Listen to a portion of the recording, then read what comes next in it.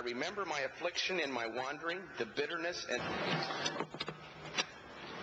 If you have your Bibles this morning, I want you to open them to two passages at one time. I want you to open them to the little epistle of James. That's right there just before you get to First Peter uh, in the New Testament. Open it to chapter 5 and you're going to look at verse uh, 17. And then our teaching this morning is going to be from from um, First Kings um, chapter 16. So you want to open them up there. Uh, be finding that place uh, this morning. Uh, it's the seventh thing we try to do here on the on the um, in teaching the Bible. We want to be faithful to the Word of God. We want to make certain that this movement of CCDA is, is anchored in the Word of God and what we really believe that Christian community development is all about is putting into practice the teaching of Jesus and the teaching of Scripture and to really applying the Scripture as it was meant to be applied. All Scripture is given by inspiration of God and is proper for correction and righteousness, for instruction, so that the people of God may be thoroughly furnished unto all good work. That is its purpose. That is its purpose. Inspiration is a byproduct of it. You don't read the Bible to be inspired. You read the Bible with the intention of obeying it. And then the inspiration come out of obedience. Obedience. They counted the joy that suffer shame for his name. They were set on obeying God. And their joy came out of that. Even we don't necessarily seek joy. Joy ought to be a natural flow. Now our joy, our, our joy can be hindered and that's why we confess our sin, so that our joy can continue. So joy ought to be a continued part of the Christian life, because the joy of the Lord is our strength. That's where our energy comes from. And so we are here to teach the Word and to apply the Word uh, to our lives. And that would be Christian community development. Jesus was here. Read the book of Mark. The book of Mark, you will see that Jesus was absolutely busy. Busy. He came not to be served, but to serve. And if you look at those 16 short chapters there, you'll find more miracles. You'll find, he, they don't even have time. Mark don't even have time to give a genealogy. It, it says that when Jesus began to be about 30 years of age, he began to serve. He began to serve. And the Bible says, as he was, so are we in the world. We are here, the church is to be the continuation of Jesus of Nazareth here on earth. We are his body now here on earth. And we're here to carry on his work on earth. And, and so we are here to, to, uh, to study uh, here this morning. So if you have your Bibles open there at James, let me start off here with James because what we want to do here this morning, we want to talk this morning about our vulnerability. Vulnerability. Yesterday we talked about integrity, you know, and that we lifted up then uh, a person of integrity. And that person was Joseph. And we couldn't find anything wrong with Joseph.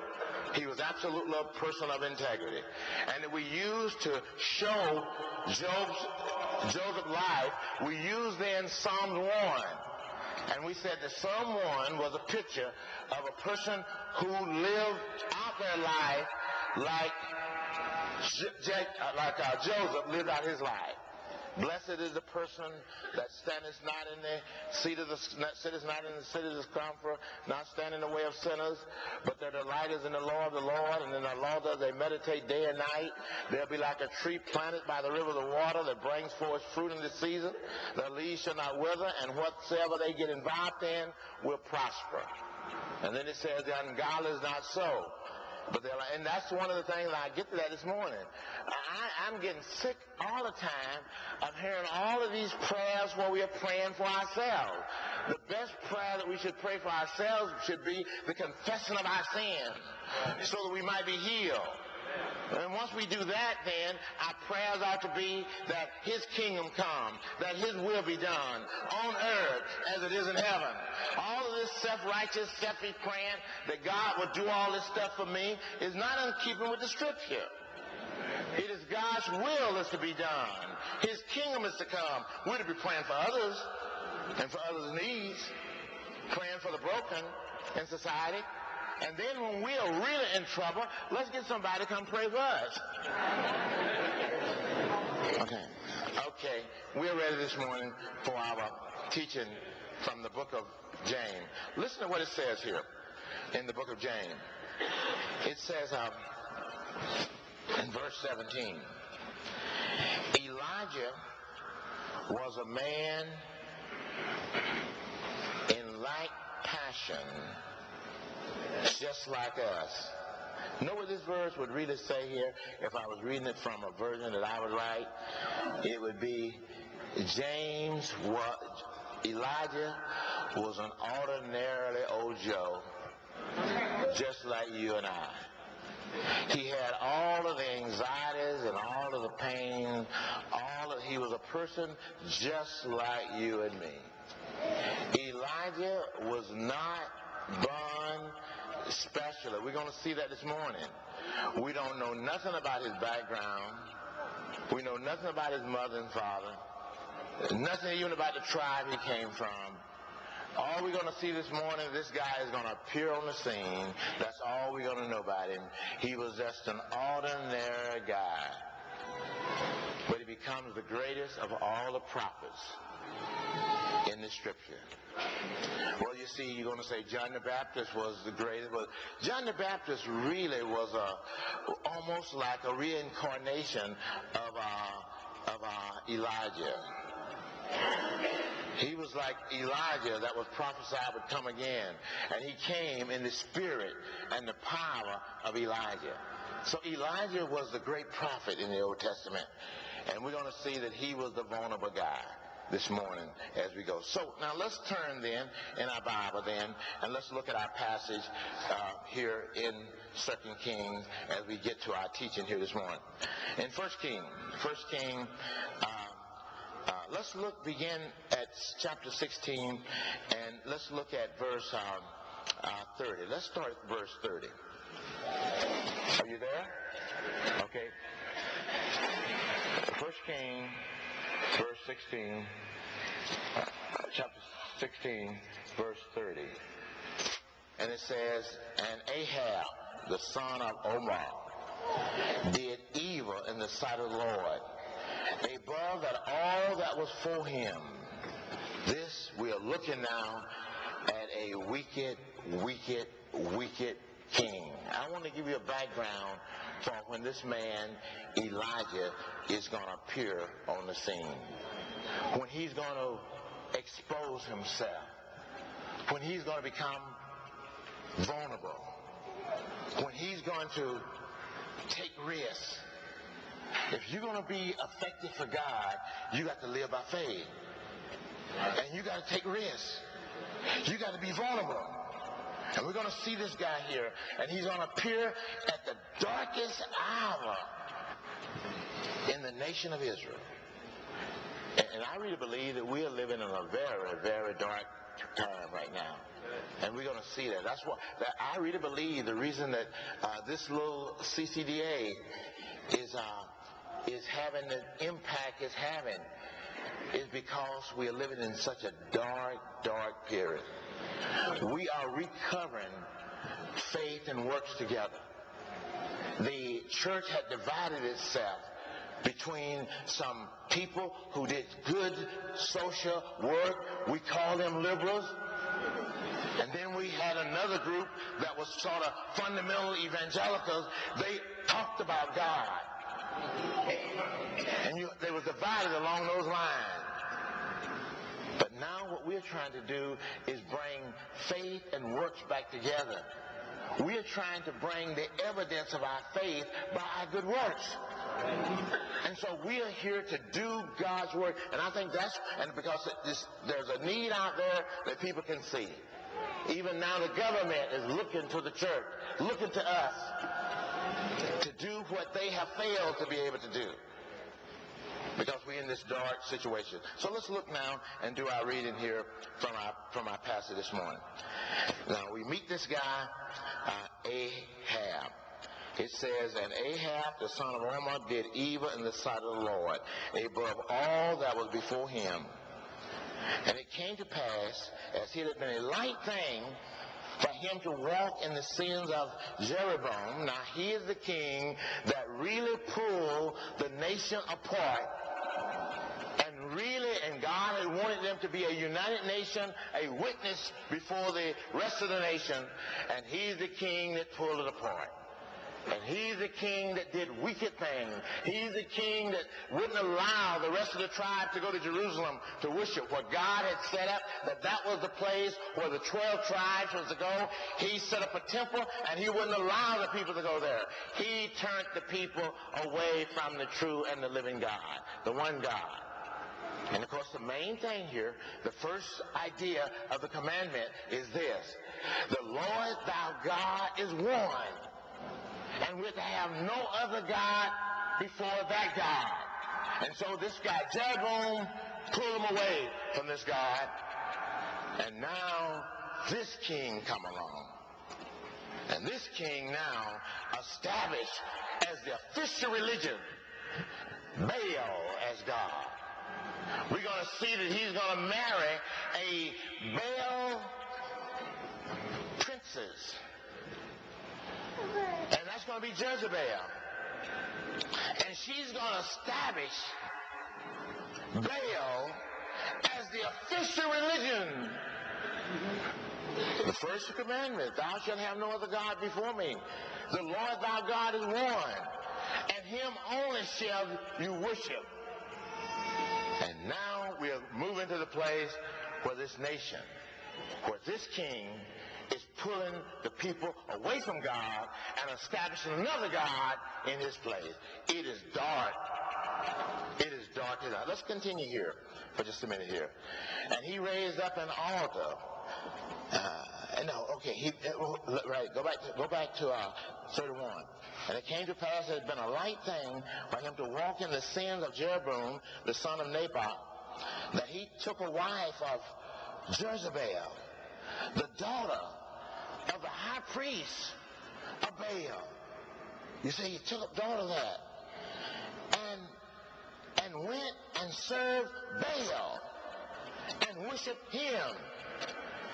And he raised up an altar for Baal in the house of Baal. And he set it up in the capital in Samaria. And he made other groves to Baal. And Ahab did more to provoke the Lord God of Israel to anger than all the other kings before him. And then it go on to tell how that they went absolutely, they looked in the Bible and they found things that was in the Bible and they made certain that they turned the people absolutely against what the Bible was saying. It's in this dark moment that we're going to meet this guy who's going to expose himself, who's going to become the, a vulnerable guy. We said first that this guy was an, an ordinary Joe, just like you and me, who's going to become the greatest prophet in the Old Testament. What's going to make the difference? That's where I'm going to. What's going to make the difference? What's going to take an ordinary Joe and make an ordinary Joe an extraordinary? That's what we need to know, isn't it? Let me tell you what happened. Know what happened? Somewhere along the line, this guy fell in love with God. That's the difference. All is required for a person to be, well, an ordinary person to become an extraordinary person. The first commandment of God is to love the Lord your God with all your heart and with all your soul and with all your strength. And then to love the people around you, your neighbors. And then when one will do that, then that person will become extraordinary. You know, Jesus was approached one. And they asked him, what was the commandment? What is the great commandment?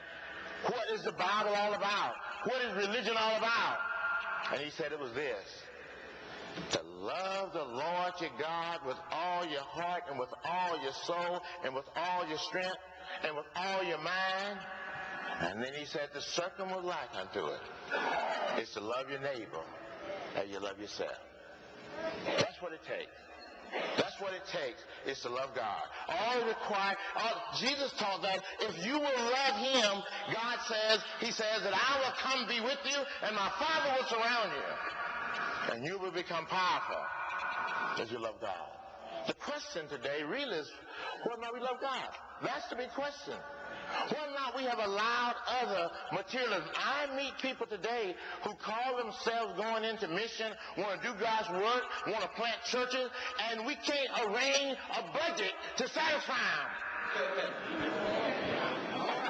They are more concerned about their own self-survival than they're concerned about obeying God. If any person come after me, says Jesus, let him deny himself and take up his cross and follow me. That's not abandonment of self. That's putting yourself in the hands of a loving God. Amen. Loving God. And all that God wants you to see is the fact that he loves you. That is the message. That is the gospel. The gospel is the love of God made visible. That's what the cross is about. That's why Paul says, for the preaching of the cross are to them that perish foolishness, but to us which are saved, it is the power of God, because it's through the cross we see the love of God. So let's let's look at this at this prophet here this morning and how this love pulled him out and made him a, a, a vulnerable a guy. Let's go to the background. Here this king had done turned the people away from God. And then, of course, God called this person. And, and God's call on our life is a vision from God. So any leader, there's going to be a leader, it starts with a vision. You've got to have a vision. You, you, know, and I talk to people who say they're going into God's work, I say to them, I stop and say, explain it to me. Explain to me. Explain to me. If you can't explain to me, you ain't ready to do God's work. Because God's work begins with a vision. When God calls somebody to do something, he gives them a vision. Because without a vision, the people perish. Leadership begins with a vision. And that vision then ought to be for God. And so this man got a vision. He was able to see the situation that his nation was in and then he comes out of nowhere. Look, go down now to verse 17, chapter 17, and let's meet our example this morning of this vulnerable guy. This guy who is my hero. This guy, e- Elijah. Know nothing about him. We know he was a desert person. Uh, we, we know he didn't do anything to try to get a, uh, to reject himself at all. You, you, can look at the kind of food he would eat. You, you, you, can look at the way he dressed. He wasn't somebody who, who, who was trying to impress people. And I meet a lot of people today. I mean, a lot of people who are trying to be leaders, they are more concerned about their own image than they're concerned about the things of God.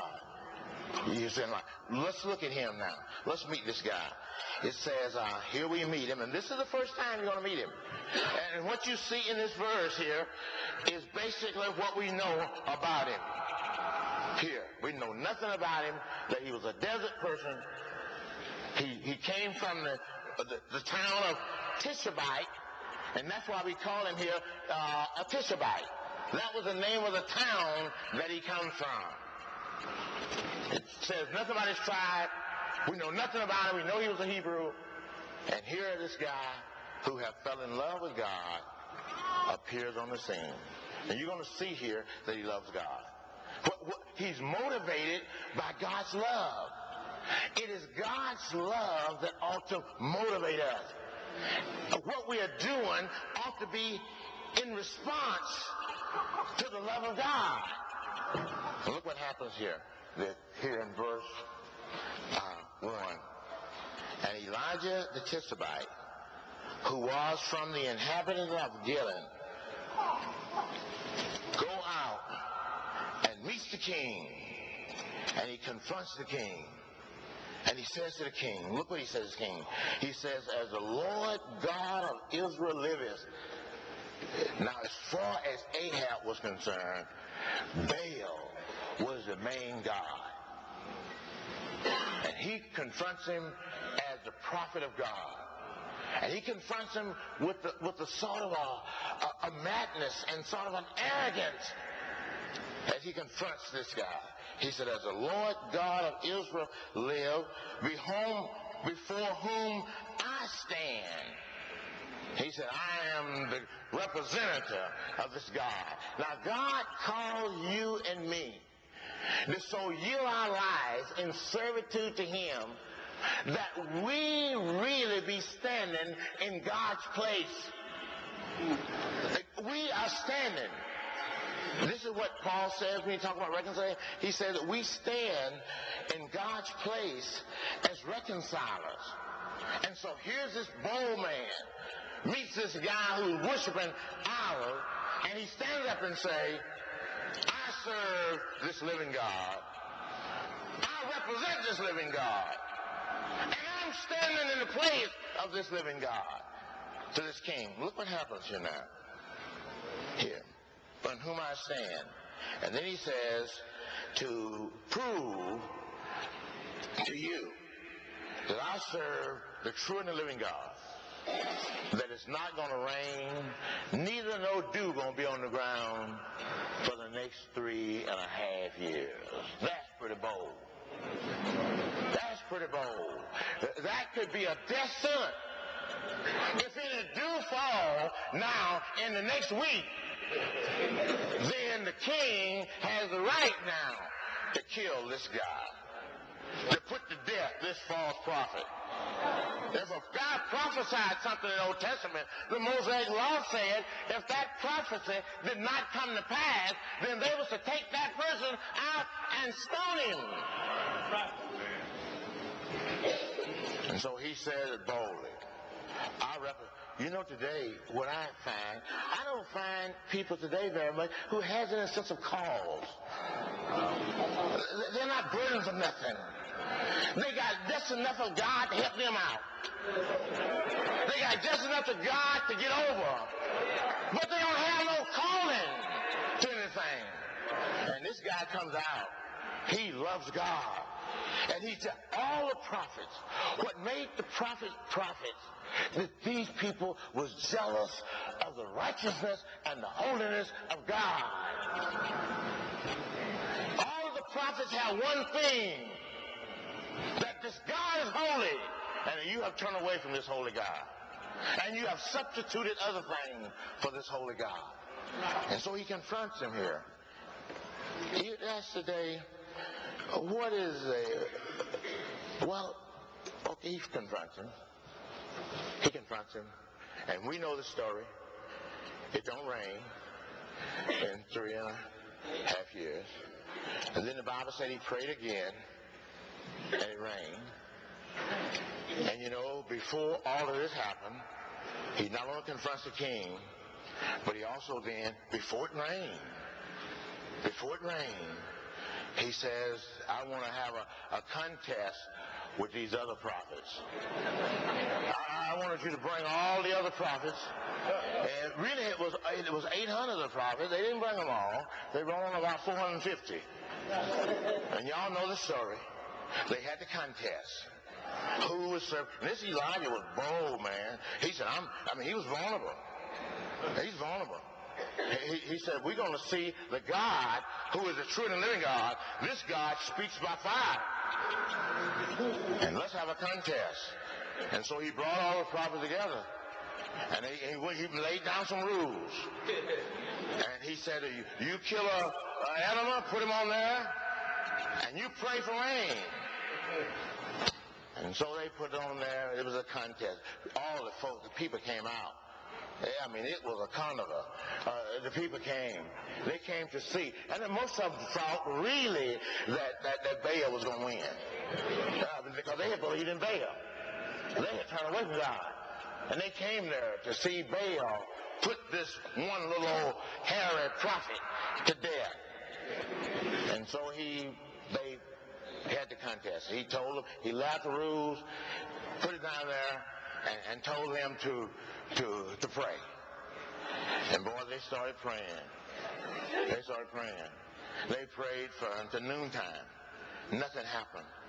They started dancing, dancing, and they started they started cutting themselves, and they was crying out, "Oh Baal, oh Baal, oh Baal, uh, send some send some fire." No fire came. And I like uh, Elijah. He was a joker, you know. Elijah, you, you, you say, why he was tough. He was a joyful guy. I mean, Elijah would make jokes. He wasn't no long-faced cyber guy. You know, he, they out there doing it. He said, uh, keep on going, guys. Uh, uh, your, your God might be on a vacation. And, he, and said, "Mm, tell you yet, he, he, might be asleep. You know, the Psalms have that so beautiful. He said, the God that we serve neither slumbers nor sleep. And he was joking with him. Your God must be asleep. He going on vacation. Something's going wrong with your God. And so he mocked them. And then came time for the evening sacrifice. And he's doing it according to the Word of God. If we're going to do things, we got to do it according to the Word of God. And so what he did then was he gathered together 12 stones, and those 12 stones, there was an old altar that had been built there. And he regathered those 12 stones, put them together, put the altar there. Then he had to kill the sacrifice and put it on there. And then he built some trenches around it so the whole water. And then he dumped water on there, more water on there, soaked the water on there. And then he just quietly, quietly called upon the Lord. And when he called upon the Lord, fire came down from heaven and consumed it. And then, of course, he took care of the other false prophets. And then by this time, God now is over. The game is over. They know now. They've been able to demonstrate who is the true and living God. And then the cloud began to circle in the sky. You know that story. It's a Sunday school story. But let me tell you this. This is important here. Uh, this guy had confronted the king and it told the king, you know, time and time again he confronted him. Another time he confronted the king while they were looking for water. Y'all remember that? And when he found him, he said, uh, oh, you are my enemy. And Elijah said, I'm not your enemy. He said, you are enemy of God because you have turned the people away from God. And I'm here to turn the people back to God. Now that was the work of the prophet. That's our work. The work that Elijah came to do, the Bible says it in the Gospel of Luke. It says what he was to do there, he was to turn the fathers back to the children. If you want to know the problem we have today, is that the fathers have left the children. His job was to turn the fathers back to the children. He was to bring responsibility back to the home. That was his task. That's our task. Uh, if all the programs we got going, if the end results of those programs is not to put families back together, we don't understand what it means. See, the church is to be the big family. This is the family of God. And then we are supposed to reach out and gather other families unto us. And we are supposed to be nurturing families. That's our work. That's the work of the church. It's nurturing families within neighborhoods and communities. That's the word. That's why we call it Christian community development. We're talking about a geographical location. We're talking about six or eight blocks or ten blocks around the church. It should be our target area for development. We're talking about a community where we can put families back together. That was his task. And so he confronted them. He confronted our um, Ahab there. And then, of course, uh, when the news got to Jezebel, what had happened? I mean, Jezebel, they got to Jezebel. And I'm missing a point I want to make. Even though he confronted the king, he never stopped loving the king. That's why I don't like the way uh, Rush Limbaugh and them quite do the president. And I don't like the way we do it. Now, I know the president, I said yesterday morning, have sinned. That he's done wrong. And he is not a good example of what we want our children to be. But on the other hand, you're not supposed to ridicule. You're supposed to keep on loving him. Because it's only love that can bring people back to the kingdom. We're going to see this guy. After he kills the prophet, and after rain starts, you know what happened? he go out and go to the king, and he get in front of the king, and he run back all those miles with the king's chariot, making certain that the king got back in to the palace saved. That's important. That's important. And so he got there. But Jezebel didn't care for all of that. She put out then a hit on him. And she said by tomorrow this time, uh, he's going to be just like one of those prophets. And when the word got back to Elijah, he was still a vulnerable guy. And he started running. But the Bible says this. Now, you got to listen to that carefully. You got to read your Bible carefully. God gave him the strength to escape. He went, God fed him, and then he went in the strength of the food that God provided for him as he plead, went to the cave. Yeah. I'm going to have to bring this message here to a close, but this is the point I want you to make. Not only did this man, Elijah, was vulnerable in confronting the king, confronting the false prophets. Now, let me tell you, you'd ask the question, who are the false prophets today? Who are the false prophets that we want to first that? Well, the false prophet today is as much of a system as it is individuals. Let's keep that in mind. We, we're wrestling not against flesh and blood today, but we're wrestling against principalities. We're wrestling against a media system. It is this media system. It is these televangelists. It these talk show hosts. It is these Stern. It is these uh, talk shows. And they have set the standard of morality. And the standard of morality today is the one that gets the most laughs. Today. And so that's how false.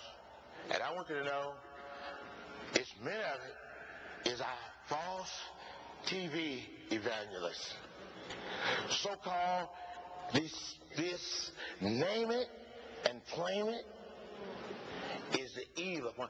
And what Tom Sine is talking about today, when this depression comes, when this recession comes, this nation is going to be in a mess. Because we have accepted Jesus today as our primarily one to meet our individualistic selfish needs. Most of this prayer is for God to meet my need based on my consumer standard that I'm living in. And we are not praying at all that God will provide for us so that we can push his kingdom out there. We're getting God provide for us in order that we might have the things that we need in society. And this society, this this this this naming and claiming, this so-called seed faith, this giving in order to get back is false. You don't give to get. You give out of the abundance of what God has blessed you with in our society. I want you to know that, you know, with all of this evangelism, with all of this so-called uh, uh, talk about God in our society, do you know that these people are setting the stage for these lotteries?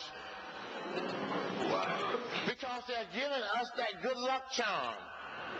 They, they, they, they got us playing the lottery. We, and we turned God into a lottery. Why is all these counties and states are getting these lotteries going?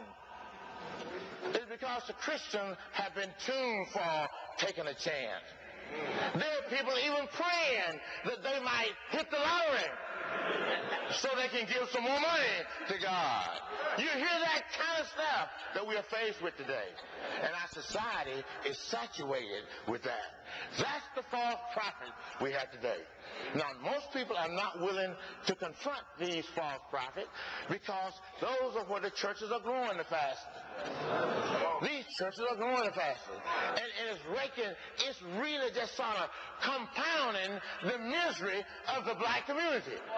Because this young black middle class that are making forty and fifty thousand dollars a year got three cars and all these notes, and they need to be praying, they think, in order to pay their bills and rent in our society. And they have very little to give to God in our society.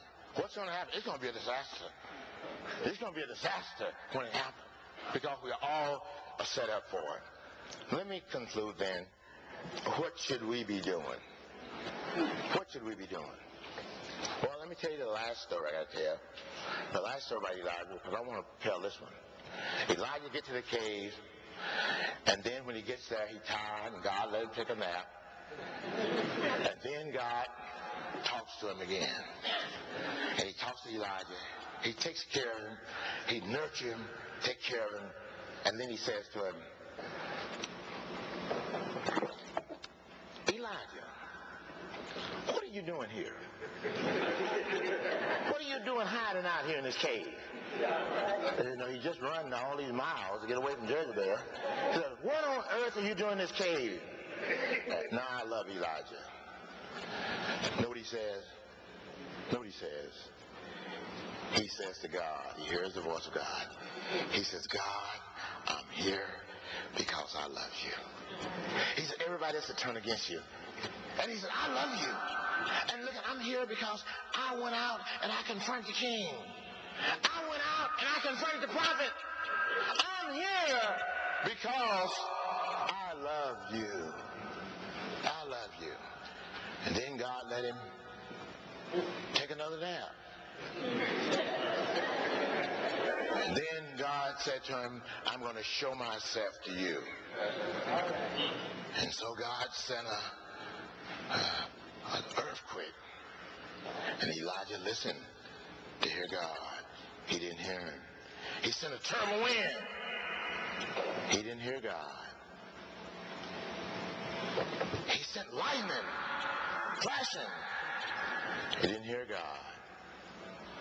And then he was down in the cave and he heard this small voice. And then what happened then, he hears this small voice. Then I know, he knows God. This is why I like this guy. He knows God. And here, this guy comes out of the cave, and he comes out of the cave in order to get as close as he could to God.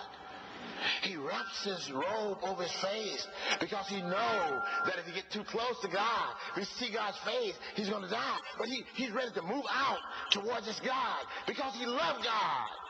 And God speaks to him again, and he says, why are you here? Why are you here? And Elijah says the same thing. He said, I'm here because I love you. If we're going to do the will of God, the first requirement is that we got to love God. We got to love God more than the program we have. We got to love God. That's requirement. It's to love our God. And then concluded, God says, oh, okay, I have 7,000 people out there who haven't bowed, and I want you to go out and educate them. I want you to go out and start a school of the prophets. I want you to go out there and teach them. Now, if we're going to help people, we got to get an environment where we can teach people the Word of God. Now, all of, again, we need to be doing all that we are doing in CCDA. But we need to be not only, we need to be having tent meeting. We need to be having street meeting. We need to be out in the streets reaching our people. And then we need to create environments where we can teach these young folks the Word of God. And so he went out and said, now, I want you to go and I want you to you make him a kingmaker. Because he was so obedient, God makes him a kingmaker. He said, I want you to go up to Syria, and I want you to anoint a king up there. I want you to go down to Israel. I want you to anoint a king there. And then I want you to go and get you a helper to replace you. I want you to get you a capable helper. And you know what he went? He went and he got uh, Elisha. And this time, you know, Elisha was a wealthy guy. I guess y'all know that, don't you? Not only was Eli, Elisha wealthy, but Elijah, Elisha was well educated. And so he went got because here this guy is out there plowing, and he got 12 other people plowing with 12 other yokes of oxen, and they all belong to him. Then, but when Elijah put his robe around him, he gave those oxen up. In fact, he went home and killed those oxen, took the plows and made an offering, uh, uh, sacrifice, for a feast for all of his other friends. That's what Jesus was talking about when Jesus said, if any person put his hands to the plow, looking back, is not fit for the kingdom of God. He's talking about Elisha. He's talking about Elisha. Elisha who left it all.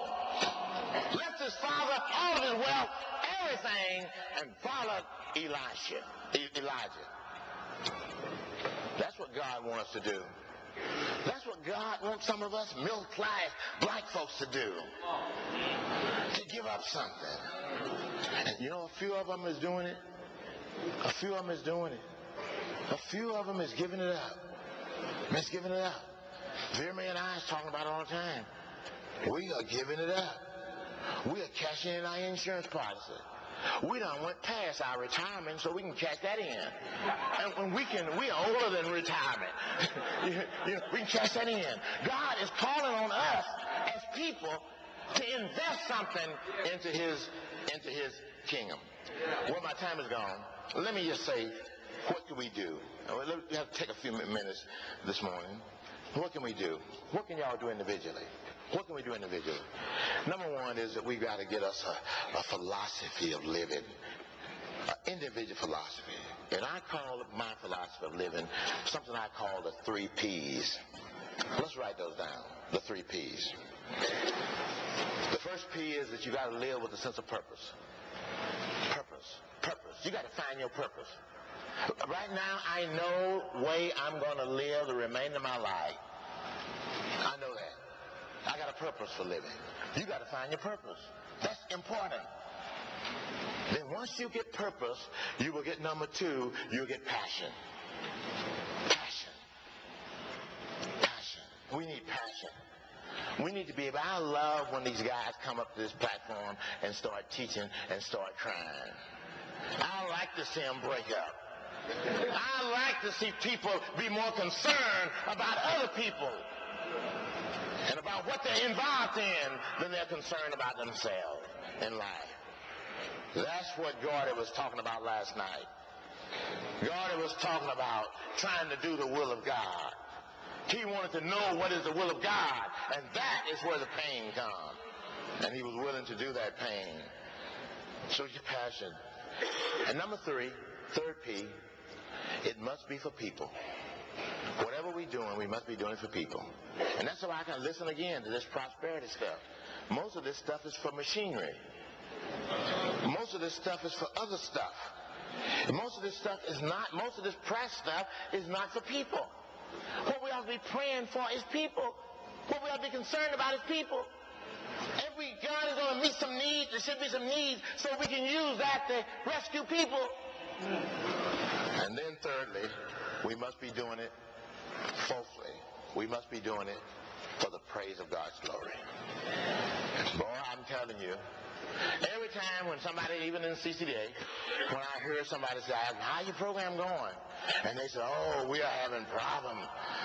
And I uh, what's people doing? Letting their ego hang out? I want you to know ego pride is the Satan incarnated in people. And most of our problem is ego pride. We're not doing what we are doing for the glory of God. We are doing it to exalt ourselves. I meet all these young, capable black folks, and they're saying, I'm on my career track. Their career track is more important than the will of God. Was on a career track. He had a big farm going.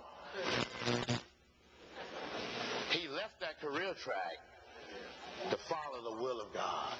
And so we need people today to give up that career. Give it up. Give it up. And turn your life over to God. Or take that skill that you have learned in that career and turn over to God. Okay, they got the stop sign on me. Come on, my dear. And, uh,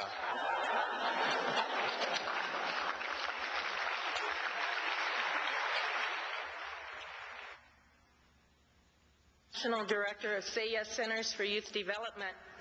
And this is uh, Joyce Wilturner, and she is the director of a Say Yes Center at Prosperity Baptist Missionary Baptist Church in South Central Los Angeles.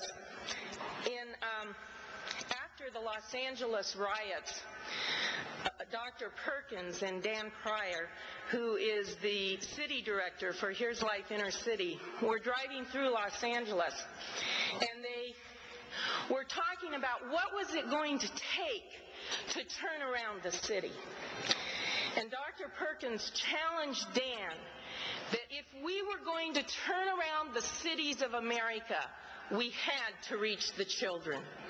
We had to raise up a new generation of godly leaders. And we were only going to do that if we reached the little ones. And so because Campus Crusade for Christ is known for having transferable um, um, to reproduce themselves, um, he challenged Dan to come up with a ministry that would reproduce itself. Many of you are doing youth development.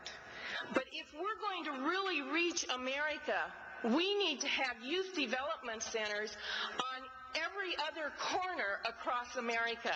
That's my vision. Dan came to me because he knew that I had worked with children for over 30 years, and he said, Wanda, would you come and join us and help us put something together? And so we did, and it's been an exciting time.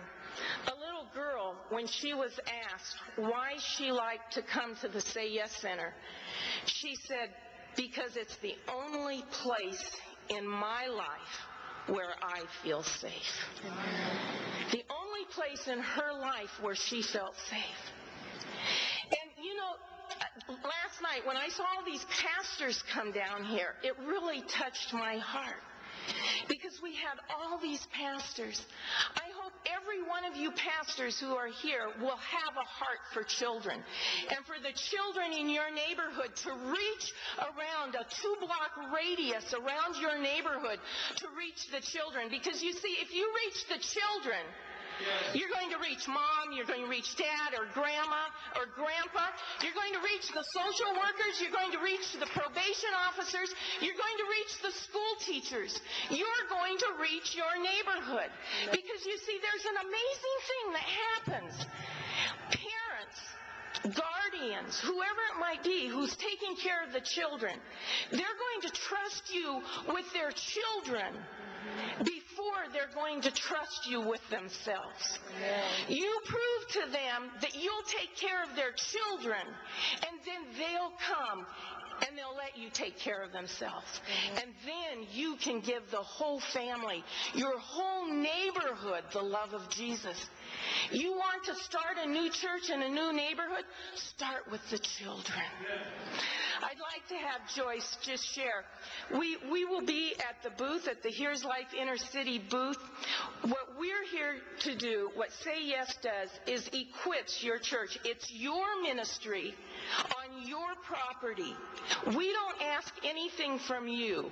We want to be here to serve. We want to help to equip the church because we feel that it's important that the church is the place the children need to be folded into. Their moms and dads need to be folded into. So we're just here to help you. One pastor in Jacksonville, Florida told us that we had saved their church two years of work because of the training that we were able to give them and the curriculum that we're able to give them. I'd like Joyce just to share how we've helped their church. Praise God. Say yes at our church has been truly a blessing. And if you live in a community like I live in and where there are a number of churches in a block, and having a number of churches in a block and having numerous children in the community that are looking for things to do and to have all the church doors closed during the week, that is an awesome, it's horrible. And so when we were presented with Say Yes, it gave us the opportunity not to talk about doing something. We like to talk about the things that we can do, and we recognize the problem, and we continually talk about the problem. But when Say Yes was presented to us, it was an opportunity not for us to talk, but to open the doors of our church outside of Sunday school, outside of Bible study during the week, outside of choir rehearsal, and have the church to be a place for the children where they can feel safe and it becomes a place where they like to hang out. They there whether it's rain, whether it's shine, whether it's whatever. They're there because they love to have a place just where they feel love. And it gives us the opportunity not to preach Jesus, but let them experience the love of Jesus. And it makes a difference when our children experience the love of Jesus. And so it has been a blessing because Here's Life Inner City has provided the tool where whereas all we had to do is open the door and they provided the training, they trained us, they provided us with the resources, they provided us with curriculum, and all we basically had to do is provide staff and open our doors. Is that easy? That is very easy. So praise God and let's open our doors to the community and open our church doors and let's, let, let's not have them locked during the week. Let's open them up. Welcome in the children in the community and let us show them and let them experience the love of Jesus. You can, you can see, you can see that these people have passion because they have purpose. And that purpose is reaching those children. Look, I want all of y'all to get this little book for the children. Listen to this. I'm serious. I'm serious. This is a part of a package.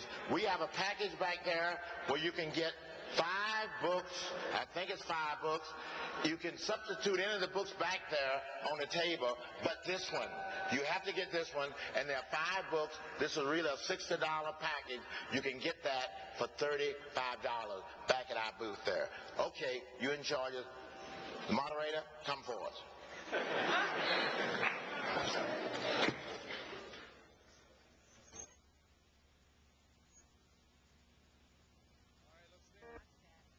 But I also want to encourage you to go to the CCDA book table and pick up his books.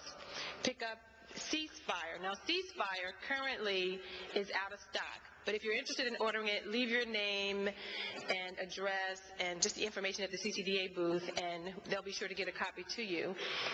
And then the next book is Live It Up which I'm very eager to read that one. But um, just feel free to pick those books up outside of the CCDA booth table. And I also want to encourage you all to to just even after this session, to meet with Tom Sine to continue a discussion on the topics that he's sharing with us this morning. He's making himself available to speak with anyone who's interested in continuing the discussion. And you will be able to continue that discussion over in this section of the ballroom immediately following this program. Okay? Also, I want to encourage you to visit the CCDA booth. Not the CCDA booth, because you know CCDA. The, uh, the extra exhibit, that's what I wanted to say. Um, a lot of people have made all of their resources available to you. And just go by their booths, pick up some information, talk to the exhibit administrators, and, and see how they can assist you in your ministries. Also, CCDA Mass Choir Rehearsal is this evening. How many of you attended that rehearsal? I'm just curious. One person? No. One, two, three. Can I see those hands again? Good morning. One more time. Good morning. When you get up in Haiti, you get up at 4:30 in the morning, as some of my friends here from Haiti know, and you go house to house to house saying, "Good morning. Did the night pass well with you? Is your family safe?" Now, can you imagine doing that in your neighborhood? I can tell you what would happen in my neighborhood if you did that. They'd have the authorities out on you. But I want you to turn to somebody next to you, and in Haitian, the way you ask, are you well, is como ye. If you're on the other half of the island of Hispaniola, you ask, como está usted? So turn to somebody next to you and say, you know, how's it going? You know, como ye, como está usted? Check.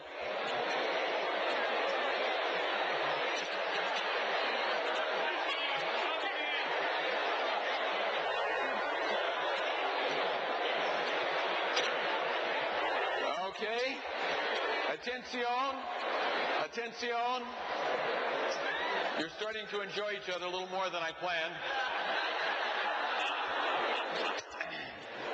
Christine I want to thank you for the gift of being here.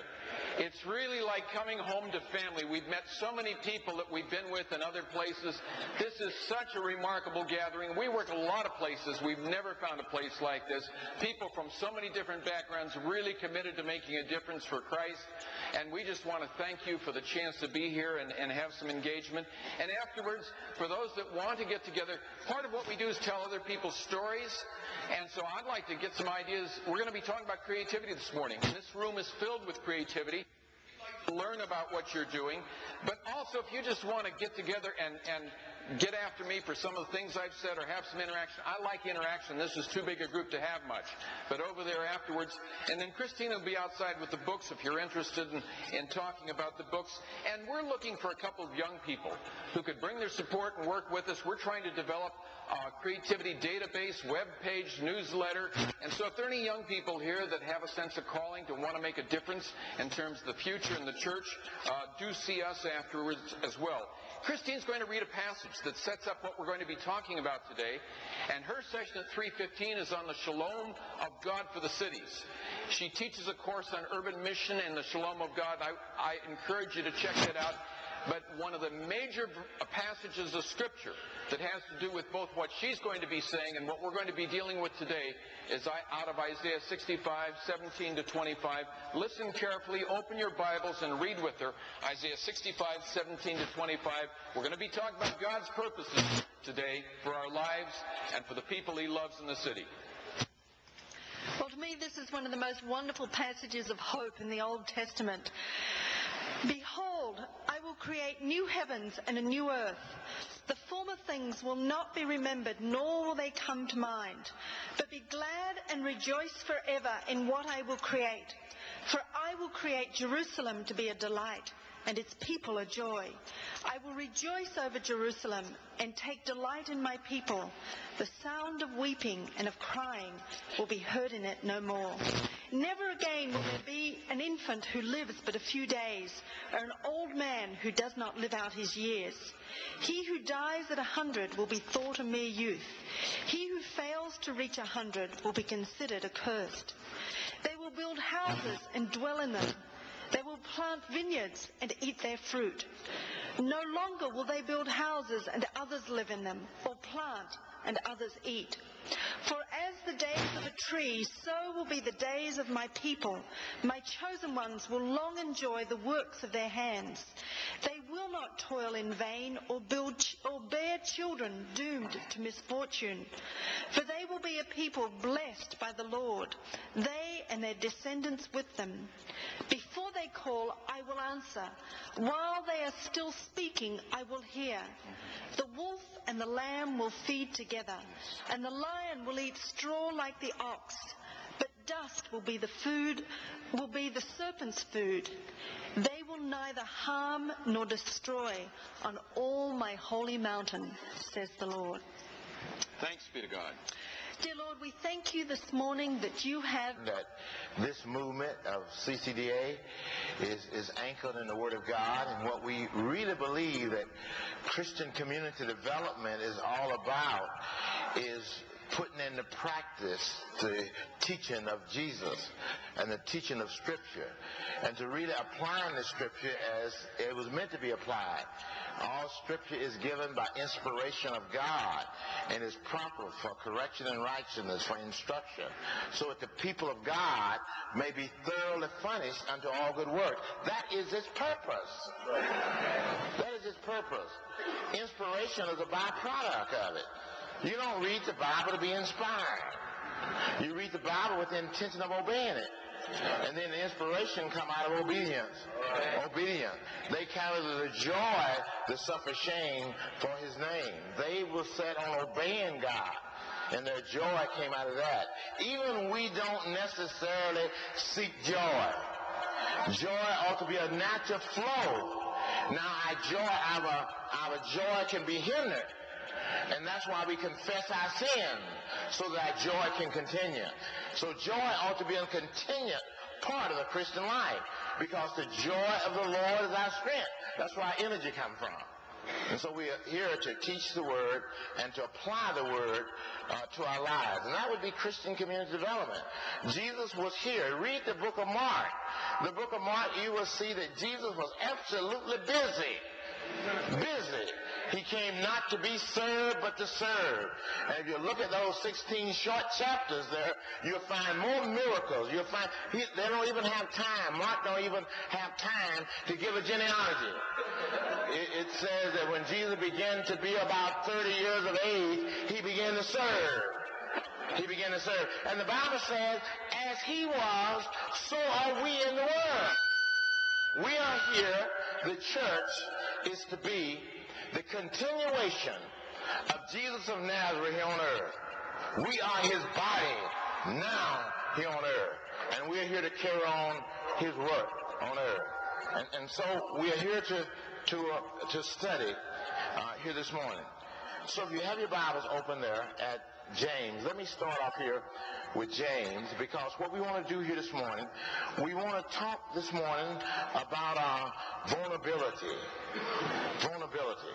Yesterday we talked about integrity, you know, and that we lifted up then uh, a person of integrity. And that person was Joseph. And that we couldn't find anything wrong with Joseph. He was absolutely a person of integrity. And we used to show Job's, Joseph's life, we used then Psalm 1. And we said that Psalm 1 was a picture of a person who lived out their life like,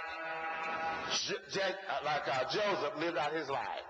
Blessed is the person that standeth not in the seat of the sitteth not in the seat of the discomfort, not stand in the way of sinners, but their delight is in the law of the Lord, and in the law does they meditate day and night. They'll be like a tree planted by the rivers of water that brings forth fruit in the season. Their leaves shall not wither, and whatsoever they get involved in will prosper. And then it says the ungodly is not so. But they're like, and that's one of the things I get to that this morning. I, I'm getting sick all the time of hearing all of these prayers where we are praying for ourselves.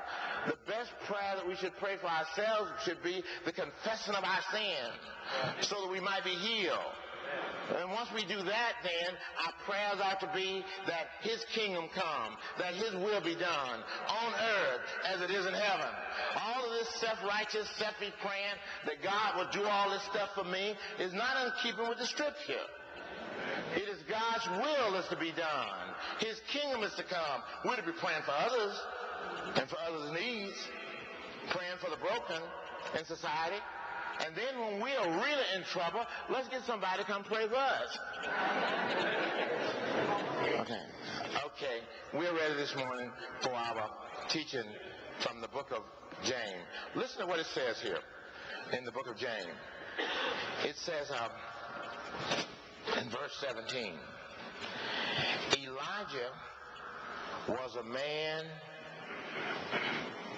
in like passion, just like us. Know what this verse would really say here? If I was reading it from a version that I would write, it would be James was Elijah was an ordinarily old Joe, just like you and I. He had all of the anxieties and all of the pain. All of, he was a person just like you and me. Elijah was not born special. We're going to see that this morning. We don't know nothing about his background. We know nothing about his mother and father.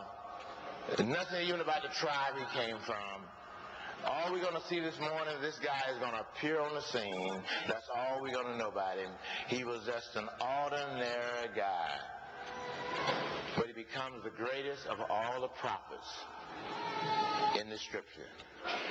Well, you see, you're going to say John the Baptist was the greatest. Well, John the Baptist really was a almost like a reincarnation of uh, of uh, Elijah. He was like Elijah that was prophesied would come again. And he came in the spirit and the power of Elijah. So Elijah was the great prophet in the Old Testament. And we're going to see that he was the vulnerable guy this morning as we go. So now let's turn then in our Bible then and let's look at our passage uh, here in Second Kings as we get to our teaching here this morning. In First King, First King, uh, uh, let's look, begin at chapter 16, and let's look at verse um, uh, 30. Let's start verse 30. Are you there? Okay. First King, verse 16, uh, chapter 16, verse 30. And it says, And Ahab, the son of Omri, did evil in the sight of the Lord above that all that was for him.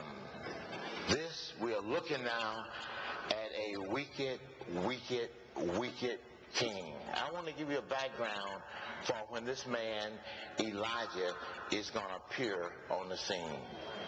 When he's going to expose himself. When he's going to become vulnerable. When he's going to take risks if you're going to be effective for God, you got to live by faith. And you got to take risks. You got to be vulnerable.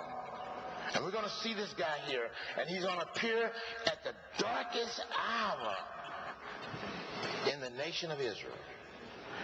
And I really believe that we are living in a very, very dark time right now.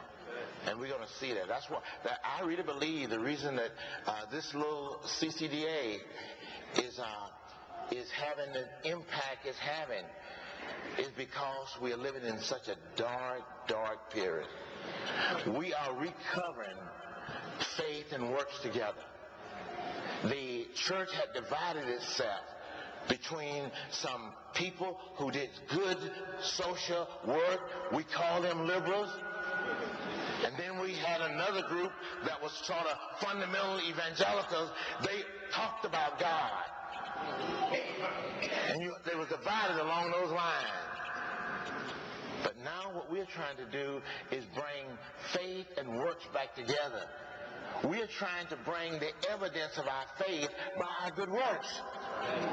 And so we are here to do God's work. And I think that's, and because this, there's a need out there that people can see. Even now the government is looking to the church, looking to us to do what they have failed to be able to do. Because we're in this dark situation. So let's look now and do our reading here from our from our passage this morning. Now we meet this guy, uh, Ahab. It says, And Ahab, the son of Omri, did evil in the sight of the Lord, above all that was before him. And it came to pass, as it had been a light thing for him to walk in the sins of Jeroboam. Now he is the king that really pulled the nation apart and really, and God had wanted them to be a united nation, a witness before the rest of the nation, and he's the king that pulled it apart. And he's the king that did wicked things. He's the king that wouldn't allow the rest of the tribe to go to Jerusalem to worship what God had set up, that that was the place where the 12 tribes was to go. He set up a temple and he wouldn't allow the people to go there. He turned the people away from the true and the living God, the one God. And of course, the main thing here, the first idea of the commandment is this. The Lord thou God is one and we're to have no other God before that God. And so this guy, Jeroboam, pulled him away from this God. And now this king come along. And this king now established as the official religion Baal as God. We're going to see that he's going to marry a Baal princess. And that's going to be Jezebel. And she's going to establish Baal as the official religion. The first commandment, thou shalt have no other God before me. The Lord thy God is one, and him only shall you worship. And now we are moving to the place where this nation, where this king is pulling the people away from God and establishing another God in his place. It is dark. It is dark. Let's continue here for just a minute here. And he raised up an altar. Uh, no, okay, he, uh, right, go back to, go back to uh, 31. And it came to pass that it had been a light thing for him to walk in the sins of Jeroboam, the son of Nebat, that he took a wife of Jezebel, the daughter of the high priest of Baal. You see, he took a daughter of that and and went and served Baal and worshiped him. And he raised up an altar for Baal in the house of Baal. And he set it up in the capital in Samaria. And he made other groves to Baal. And Ahab did more to provoke the Lord God of Israel to anger than all the other kings before him. And then it go on to tell how that they went absolutely, they looked in the Bible and they found things that was in the Bible, and they made certain that they turned to people absolutely against what the Bible was saying. It's in this dark moment that we're going to meet this guy who's going to expose himself, who's going to become the, vulnerable guy. We said first that this guy was a, an ordinary Joe, just like you and me who's going to become the greatest prophet in the Old Testament. What's going to make the difference? That's where I'm going to. What's going to make the difference? What's going to take an ordinary Joe and make an ordinary Joe an extraordinary? That's what we need to know, isn't it? Let me tell you what happened. Know what happened?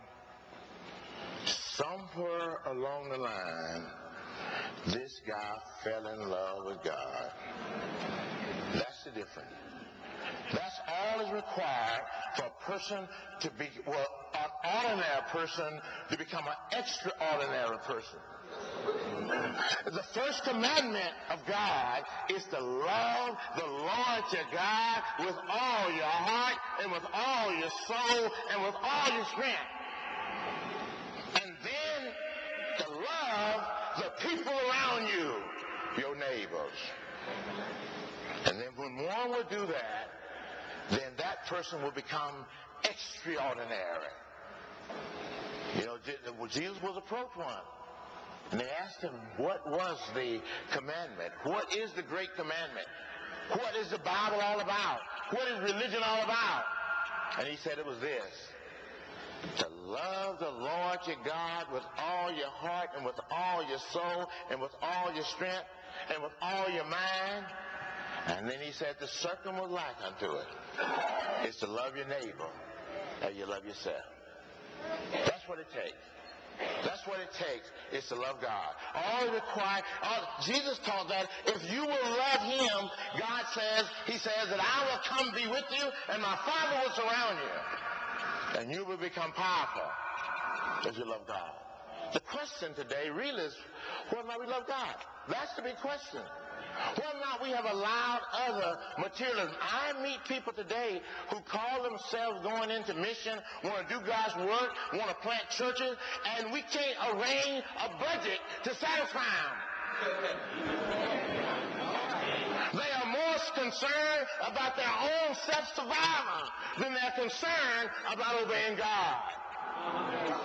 If any person come after me, says Jesus, let him deny himself and take up his cross and follow me. That's not abandoning of self. That's putting yourself in the hands of a loving God. Loving God. And all that God wants you to see is the fact that he loves you. That is the message. That is the gospel. The gospel is the love of God made visible. That's what the cross is about.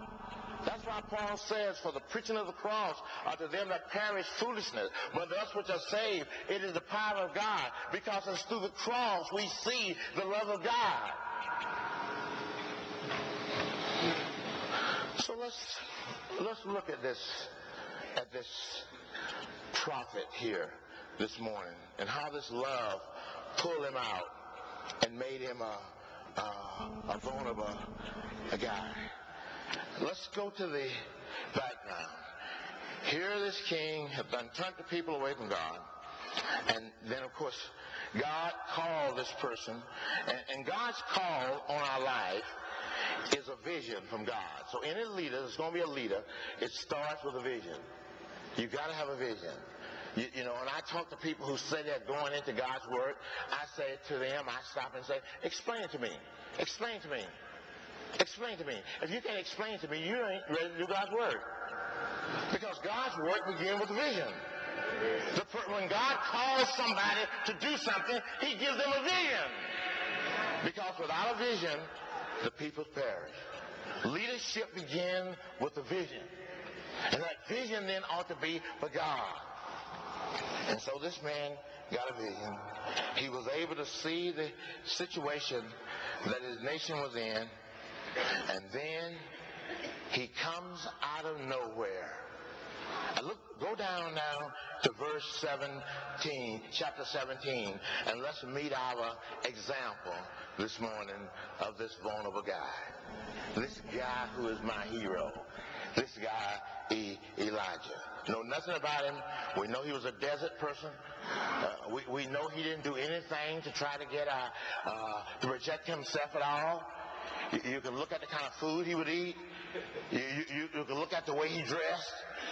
He wasn't somebody who, who, who was trying to impress people. And I meet a lot of people today. I mean, a lot of people who are trying to be leaders, they are more concerned about their own image than they're concerned about the things of God. You said, let's look at him now. Let's meet this guy. It says, uh, here we meet him, and this is the first time you're going to meet him. And what you see in this verse here is basically what we know about him. Here, we know nothing about him, that he was a desert person. He, he came from the, the, the town of Tishabite, and that's why we call him here uh, a Tishabite. That was the name of the town that he comes from. It says nothing about his tribe. We know nothing about him. We know he was a Hebrew. And here this guy who have fell in love with God appears on the scene. And you're going to see here that he loves God. What, what, he's motivated by God's love. It is God's love that ought to motivate us. What we are doing ought to be in response to the love of God. Look what happens here. Here in verse uh, 1. And Elijah the Tishbite, who was from the inhabitants of Gilead, go out and meets the king. And he confronts the king. And he says to the king, look what he says king. He says, as the Lord God of Israel liveth.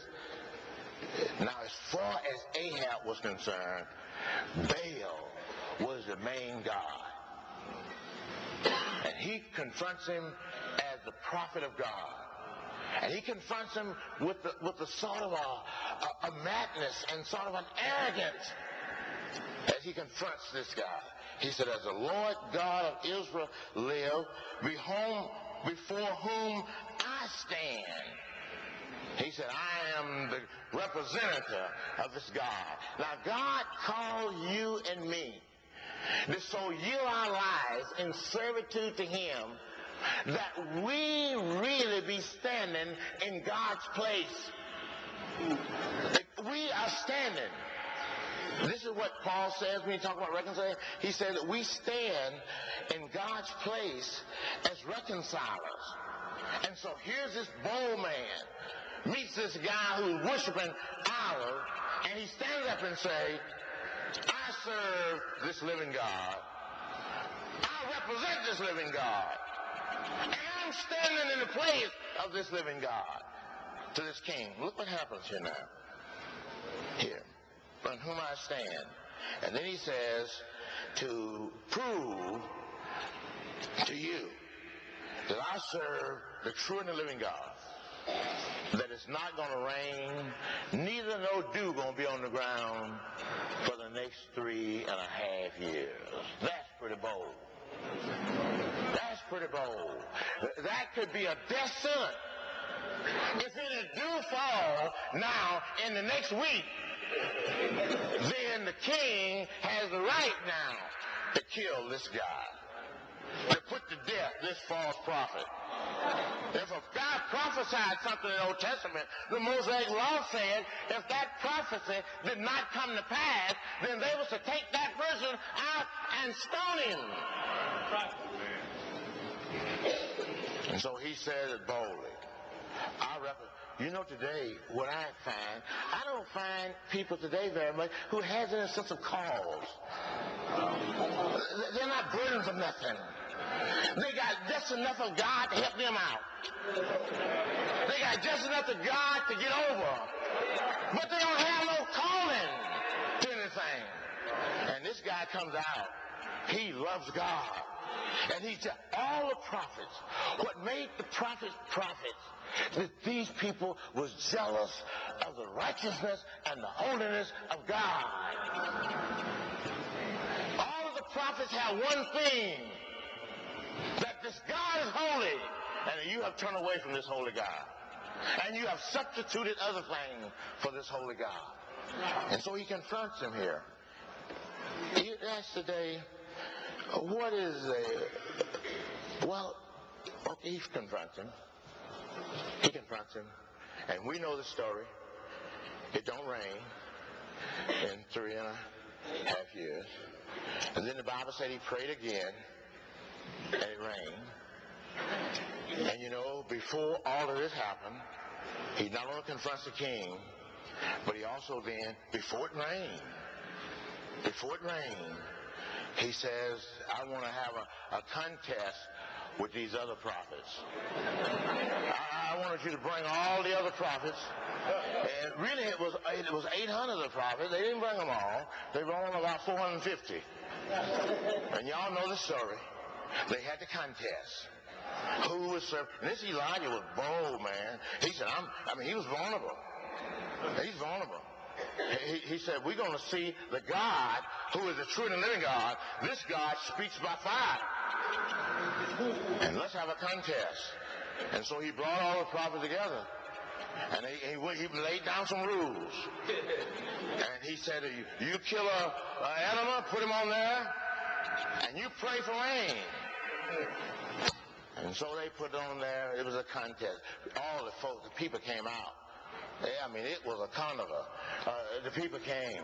They came to see. And most of them thought really that, that, that Baal was going to win. Uh, because they had believed in Baal. They had turned away from God. And they came there to see Baal put this one little old hairy prophet to death. And so he, they had the contest. He told them, he laid the rules, put it down there, and, and told them to, to, to pray. And boy, they started praying. They started praying. They prayed for until noontime. Nothing happened. they started dancing, dancing. And they started, they started cutting themselves. And they was crying out, oh Baal, oh Baal, oh Baal. Uh, send some, send some fire. No fire came. And I like uh, Elijah. He was a joker, you know. E- Elijah, you, you, you say, why he was tough, he was a joyful guy. I mean, E- Elijah would make jokes. He wasn't no long-faced cyber guy. You know, he, they out there doing it. He said, uh, keep on going, guys. Uh, uh, your, your God might be on a vacation. And, he, and he said, "Mm, no, tell you yet, he, he, might be asleep. You know, the Psalms have that so beautiful. He said, the God that we serve neither slumbers nor sleep. And he went to joking with him. Your God must be asleep. He going on vacation. Something's going wrong with your God. And so he mocked them. And then came time for the evening sacrifice. And he's doing it according to the Word of God. If we're going to do things, we've got to do it according to the Word of God. And so what he did then was he gathered together 12 stones, and those 12 stones, that was an old altar that had been built there. And he regathered those 12 stones, put them together, put the altar there. Then he had to kill the sacrifice and put it on there. And then he built some trenches around it it could hold water. And then he dumped water on there, more water on there, soaked the water on there. And then he just quietly, quietly called upon the Lord. And when he called upon the Lord, fire came down from heaven and consumed it. And then, of course, he took care of the other false prophets. And then by this time, God now is over. The game is over. They, they know now. They've been able to demonstrate who is the true and living God. And then the cloud began to circle in the sky. You know that story. It's a Sunday school story. But let me tell you this. This is important here. Uh, this guy had confronted the king and it told the king, you know, time and time again he confronted him. Another time he confronted the king while they were looking for water. Y'all remember that? And when he found him, he said, uh, oh, you are my enemy. And Elijah said, I'm not your enemy. He said, you are enemy of God because you have turned the people away from God. And I'm here to turn the people back to God. Now that was the work of the prophet. That's our work. The work that Elijah came to do, the Bible says it in the Gospel of Luke. It says what he was to do there, he was to turn the fathers back to the children. If you want to know the problem we have today, is the fathers have left the children. And his job was to turn the fathers back to the children. He was to bring responsibility back to the home.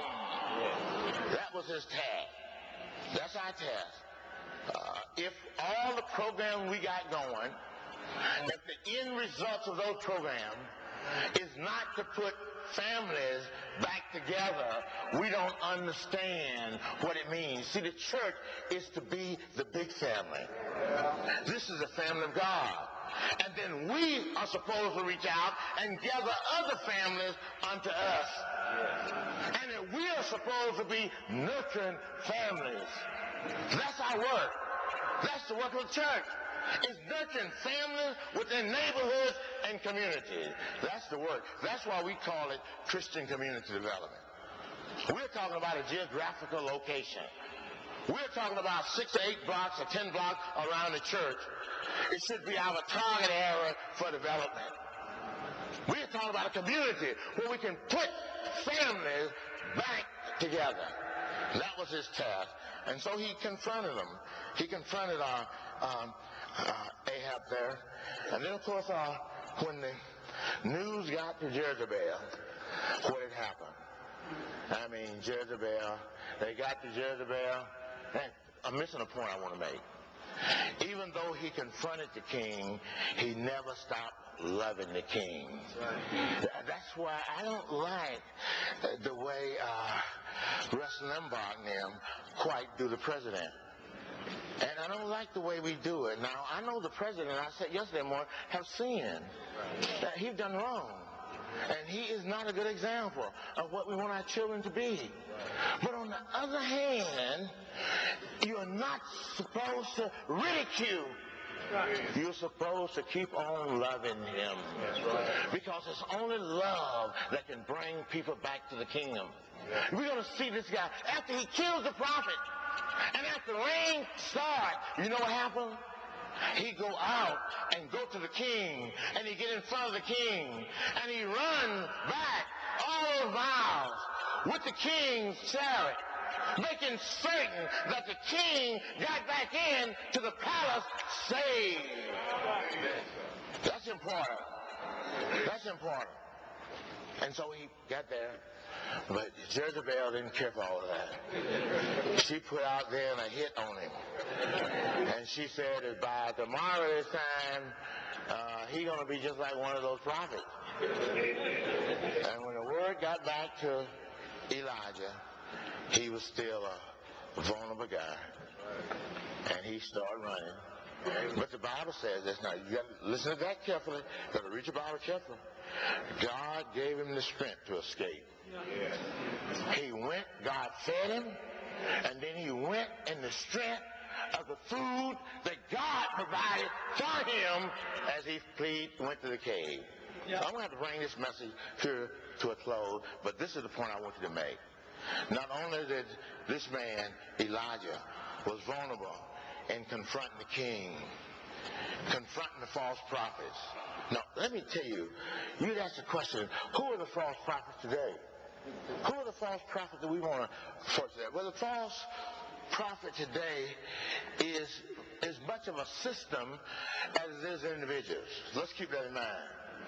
We, we're wrestling not against flesh and blood today, but we're wrestling against principalities. We're wrestling against a media system. It is this media system. It is these televangelists. It is these talk show hosts. It is these sterns. It is these uh, talk shows. And they have set the standard of morality. And the standard of morality today is the one that gets the most claps today. And so that's how false. And I want you to know, it's many of it is our false TV evangelists. So-called this, this name it and claim it is the evil one. And what Tom Sine is talking about today, when this depression comes, when this recession comes, this nation is going to be in a mess. Because we have accepted Jesus today as our primarily one to meet our individualistic selfish needs. Most of this prayer is for God to meet my need based on my consumer standard that I'm living in. And we are not praying at all that God will provide for us so that we can push his kingdom out there. We're getting God to provide for us in order that we might have the things that we need in society.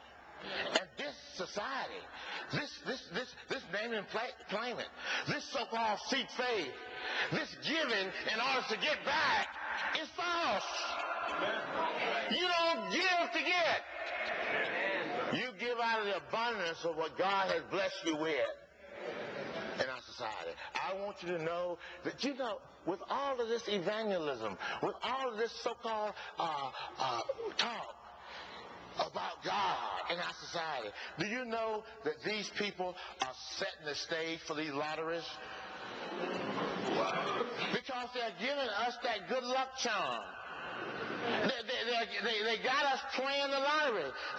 we, and we turned God into a lottery. Why is all these counties and states are getting these lotteries going? It's because the Christians have been tuned for taking a chance. There are people even praying that they might hit the lottery so they can give some more money to God. You hear that kind of stuff that we are faced with today. And our society is saturated with that. That's the false prophet we have today.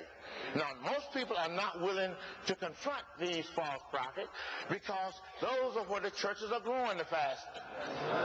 These churches are growing the fastest. And, and it's raking, it's really just sort of compounding the misery of the black community.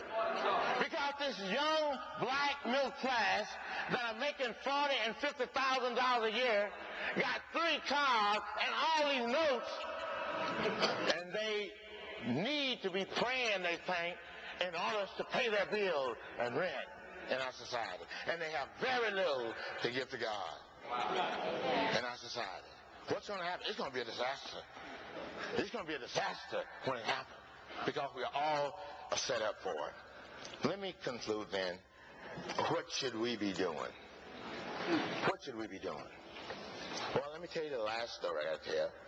The last story about Elijah, because I want to tell this one. Elijah gets to the cave, and then when he gets there, he's tired, and God let him take a nap. And then God talks to him again. And he talks to Elijah. He takes care of him. He nurtures him, take care of him. And then he says to him, Elijah, what are you doing here? What are you doing hiding out here in this cave? You know, he just run all these miles to get away from Jezebel. He says, what on earth are you doing in this cave? Now I love Elijah. Know what he says? Know what he says? He says to God, he hears the voice of God. He says, God, I'm here because I love you. He said, everybody else will turn against you. And he said, I love you. And look, I'm here because I went out and I confronted the king. I went out and I confronted the prophet. I'm here because I love you. I love you. And then God let him take another nap. Then God said to him, I'm going to show myself to you. And so God sent a, uh, an earthquake. And Elijah listened to hear God. He didn't hear him. He sent a terrible wind. He didn't hear God. He sent lightning, flashing. He didn't hear God. And then he was down in the cave and he heard this small voice. And then what happened then, he hears this small voice. Then I know, he knows God. This is why I like this guy. He knows God. And here, this guy comes out of the cave, and he comes out of the cave in order to get as close as he could to God.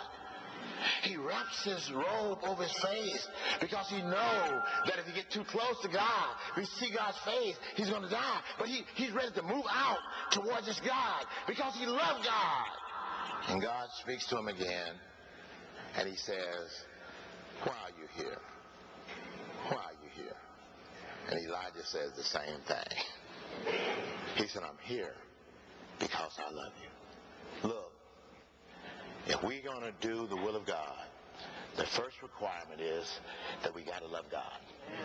We got to love God more than the program we have. We got to love God. That's the requirement. It's to love our God. And then concluding, God says, uh, okay, I have 7,000 people out there who haven't bowed, and I want you to go out and educate them. I want you to go out and start a school of the prophets. I want you to go out there and teach them. Now, if we're going to help people, we got to get an environment where we can teach people the Word of God. Now, all of again, we need to be doing all that we are doing in CCDA. But we need to be not only, we need to be having tent meetings. We need to be having street meetings. We need to be out in the streets reaching our people. And then we need to create environments where we can teach these young folks the Word of God. And so he went out and said, now, I want you to go and I want you to make, you make him a kingmaker. Because he was so obedient, God makes him a kingmaker. He said, I want you to go up to Syria, and I want you to anoint a king up there. I want you to go down to Israel. I want you to anoint a king there. And then I want you to go and get you a helper to replace you. I want you to get you a capable helper. And you know what he went? He went and he got uh, Elisha. And this time, you know, Elisha was a wealthy guy. I guess y'all know that, don't you? Not only was Eli, Elisha wealthy, but Elijah, Elisha was well educated. And so he got because here this guy is out there plowing, and he got 12 other people plowing with 12 other yokes of oxen, and they all belong to him. then, but when Elijah put his robe around him, he gave those oxen up. In fact, he went home and killed those oxen, took the plows and made an offering, uh, uh, sacrifice, a feast for all his other friends. That's what Jesus was talking about when Jesus said, if any person put his hands to the plow, looking back, is not fit for the kingdom of God. He's talking about Elisha. He's talking about Elisha. Elisha who left it all. Left his father, all of his wealth, everything, and followed Elisha. Elijah. That's what God wants us to do. That's what God wants some of us middle class black folks to do. To give up something. And you know, a few of them is doing it. A few of them is doing it. A few of them is giving it up. It's giving it up. Vera and I is talking about it all the time. We are giving it up. We are cashing in our insurance policy. We done went past our retirement, so we can cash that in. And we can, we are older than retirement. you, we can cash that in. God is calling on us as people to invest something into His into His kingdom. Well, my time is gone. Let me just say, what can we do? To take a few minutes this morning. What can we do? What can y'all do individually? What can we do individually? Number one is that we've got to get us a, a philosophy of living, an individual philosophy. And I call my philosophy of living something I call the three P's. Let's write those down, the three P's. The first P is that you got to live with a sense of purpose. Purpose. Purpose. You got to find your purpose. Right now, I know way I'm going to live the remainder of my life. I know that. I got a purpose for living. You got to find your purpose. That's important. Then once you get purpose, you will get number two, you'll get passion. Passion. Passion. We need passion.